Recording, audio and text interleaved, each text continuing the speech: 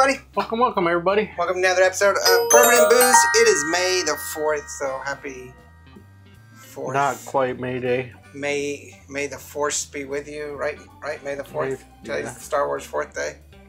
Whatever. I don't have anything cool Star Warsy. Sorry. Anyway. How are you guys all doing today? So, uh, really excited you're here. It's May. Halfway through uh, 2021 almost. It's been a really uh, long year. Uh, this is our episode 298, so we're coming up on episode 300 next Tuesday. Make sure you guys watch that. Hopefully, we'll have a good episode instead of our typical normal subpar episodes. They're all great episodes. What are you talking about? All right, so if you like what we do, make sure you hit the like and subscribe and uh, share this uh, channel with all your friends. Uh, today we are doing something I'd actually never even heard of in my life, but I got this as a Christmas gift. I'm not even sure who gave it to me. I think it's one of my kids. But this is the Black Eagle bourbon. Their honey bourbon. Now they have a regular bourbon, but this is their honey bourbon. So it's actually not even really a whiskey. It comes in at um, 35% or 70 proof, so it's more of a liqueur, as is most sweet flavored bourbons or flavored whiskeys. You know, whether it's cinnamon whiskey or honey whiskey or vanilla whiskeys or whatever, they're usually more of a liqueur. That's what this is. Um, but we're going to go ahead and keep it on a um, whiskey day. The cost is $23.49, pretty reasonable, and I'm actually pretty sure that the cost of $23.49 is for this handle. So it's probably under 20 bucks for a 750. But we're going to go ahead and leave it at 23.49. That's going to make it a three barrel on cost. This is from USDP, which is the United States Distilled Products. It's another big sourced conglomerate. Conglomerate.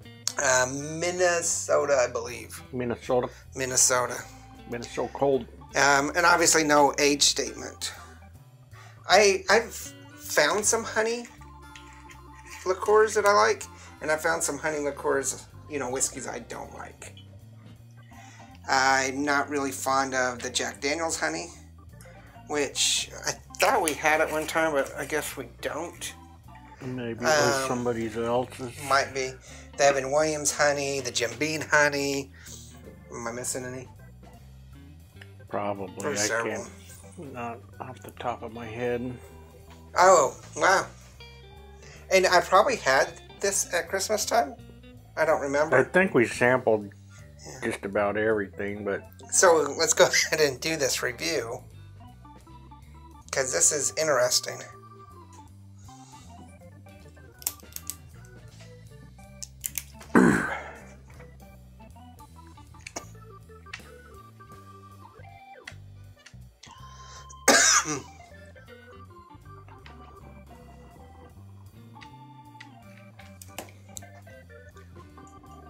Wasn't quite what I expected.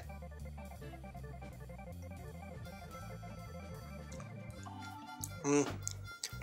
Flavor wise, though, kind of is.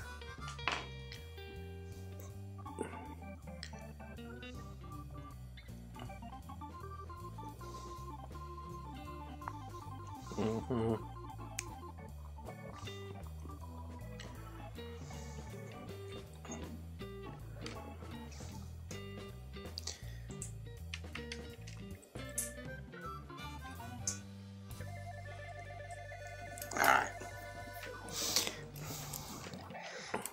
When the aroma made me expect one thing, the flavor moved that around to another thing. Alright. So it is a three barrel at twenty three forty nine for cost. For aroma, I'm giving it a three point five, you're giving it a three. Mm-hmm. Got a little, definitely the honey. There's a little bit of vanilla in there, Mhm. and there's some dried fruit, but I can't really Okay. pick out which. That's exactly what I wrote down. It's got a the hints of the honey. It's not overwhelmingly honey. Yeah, it's not like in your face honey, like but you some of our honey it. liqueurs we have tried. I can't even remember what the last we just did. One yeah, we too- just did one like a few weeks ago, and it was like It was woof. Right in your face. Uh huh. So I put honey, I put vanilla, and I put dark cherry. It's got that bourbon-esque yeah, I aroma to it. Definitely The had the. more I smell it, though, the more that honey is becoming more pronounced.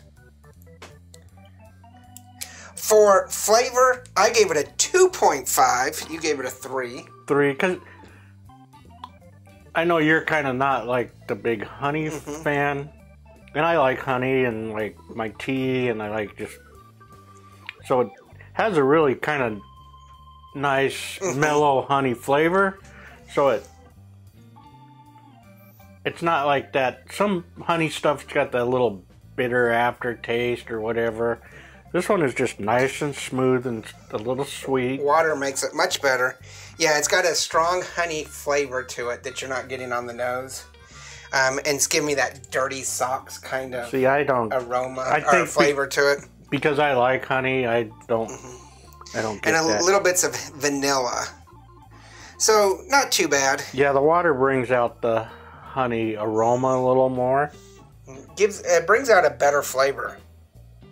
I mean, if I was going to drink this, which you know I have a handle, so I probably will, but we'll probably use it for a lot of cocktails. Um, I would definitely add water to it. Hmm. Might be good with a Coke because Yeah, they have the vanilla and the honey. Well, not honey, but vanilla Cokes.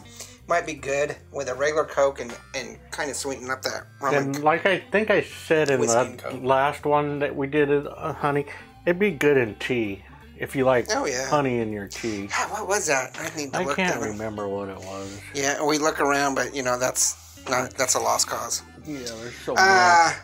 For bite, I gave it a three. You gave it a four. I think it's got a little bit of average lingering bite to it. Not much. I mean, it's not completely smooth, but it's also not bitter. So it's my standard three on that. That gives me 12 points. That gives you 13 points. So it's still a three barrel. I'd say on the bite, a little bit of water gives it a little more bite than without the water. Yeah. I don't know. Tell us what you think about flavored whiskeys in general, uh, honeyed whiskeys. Do you like them? Obviously, it's not really a standard whiskey because it's lower proof, but um, I don't know. I, I would like to try their regular Black Eagle bourbon, I think I would buy this, so if I saw it in the store. the honey. Yeah. I'd like to try their, their regular bourbon, and I think they have a cinnamon too. We could I'd out. like to try that. I know you would. All right, tell us what you think. Um, is there any other honeyed whiskeys we should try? Make sure you hit the like and subscribe. Check out Instagram, Facebook, Twitter, and merchandise. Remember, there's no bad whiskey. There's only good whiskey and great whiskey. And even though this isn't technically a whiskey, this, this is okay. This is good It's whiskey. pretty good whiskey. Cheers. Cheers. Oh, sorry. Laters.